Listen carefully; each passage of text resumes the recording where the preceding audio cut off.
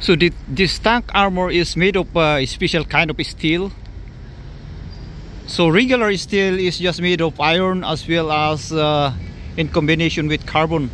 But the thing is, uh, ordinary steel is not uh, sufficient enough to protect the crew inside the tank against uh, projectile penetration.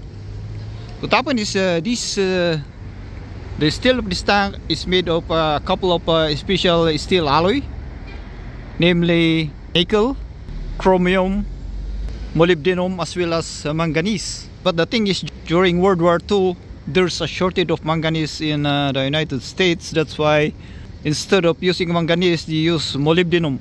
Basically, what's the use of all of this alloy? Okay, adding uh, nickel to the steel improves the hardenability as well as the hardness of this steel. Chromium also add uh, hardenability as well as the uh, improves the hardness of the steel. Molybdenum on the other hand improves the tensile strength of this uh, of the steel. So what happens is uh, when a projectile strike this armor, the extra hardness provided by the by the nickel and chromium allows this steel to resist armor penetration. Molybdenum, on the other hand, improves the tensile strength of this uh, steel plate that allows it to withstand the stresses that is caused by projectile strike to the armor.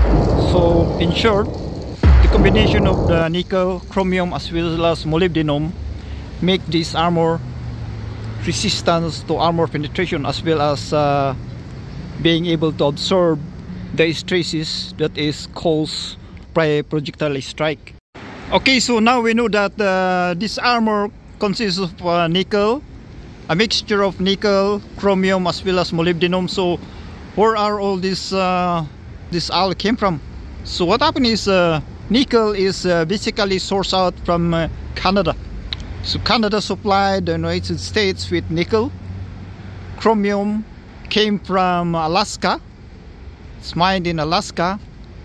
Molybdenum is mined in uh, Arizona. So, so those were the places where the different alloy of this steel came from.